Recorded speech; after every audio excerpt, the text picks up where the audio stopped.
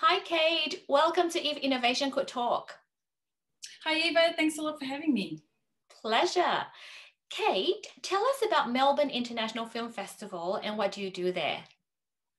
Uh, the Melbourne International Film Festival is the longest running film festival in Australia and one of the longest running film festivals in the world. And I'm really lucky to be one of the programmers on the programming team there. So, what does um, programming do? Well, uh, it's uh, quite a, a, massive job. There's only a team of four of us, and we put together the film program for the festival each year. Um, in a regular year of in person attendance, in cinema attendance, um, that can be in excess of 350 films, including short films as well as features. Wow. Um, now that is actually very interesting considering, you know, you came from a very different background. Um, I remember when we chatted um, earlier on, you said you were a nurse assistant before. Oh yeah, that was my very first job, um, you know, when I was a, a young teenager, um, which was, you know, great experience for me um, getting out into the world and learning that kind of responsibility and being um, exposed to that kind of, of work was very interesting. I think it taught me a lot of empathy, um, which I've carried through the rest of my working life, I think. Um, mm. But you know, as time goes on, you start to realize there are things that you're particularly interested in, and maybe you'd like to move into that arena. And I've been very fortunate um, to be able to pursue that in regards to film.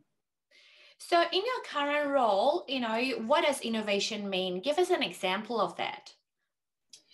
Um, well, in terms of this year and how we dealt with the um, the coronavirus pandemic and how it affected Melbourne specifically, I mean, we went into stage four lockdown just before our festival started. So we were quite fortunate, really, in the end, that we had decided to go online and we literally had a captive audience. So we were very fortunate in that regard because the festival did very well um, going online and having that available to people. And in terms of being a point of difference to what they're already exposed to through other streaming services, um, in order to create or try and recreate a festival experience, we had some spotlight events, which were timed screenings, uh, which was kind of a way to create some community vibe as well, which I think a lot of people were quite disappointed not to have this year. So it was a great way to try and recreate that.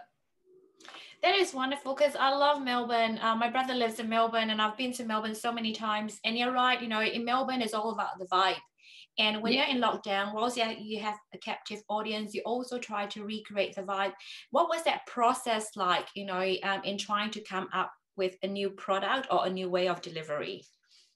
Well, I mean, we had a lot of research that went into it, a lot of collaboration with our uh, online streaming platform partner. We did a, a, lot of collaboration with them, a lot of investment in their platform to be able to present things in the way that we wanted to.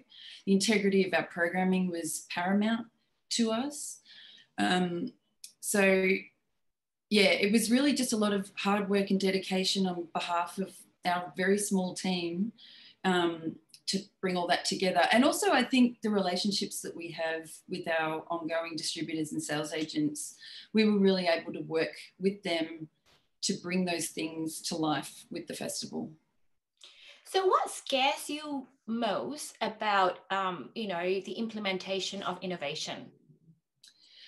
I think, and we, we've spoken about this in the past, my least favorite expression is um, this is the way we've always done it.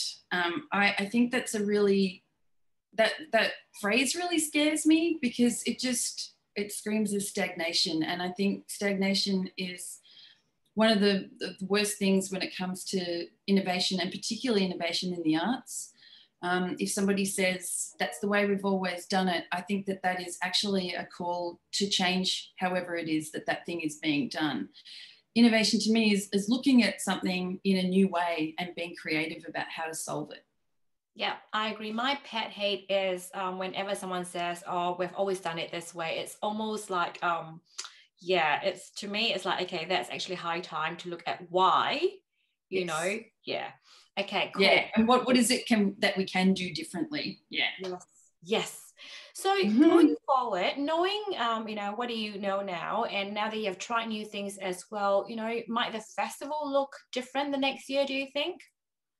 Look, I think that's inevitable. Um, we're all dying to get back into the cinema and we're very lucky in Melbourne, the cinemas have just reopened. Um, so we're all going to be going back very, very quickly. But I think we need to be really um, mindful about the landscape now and how different it is. And I think it's inevitable that the festival will have to have some kind of hybrid presentation.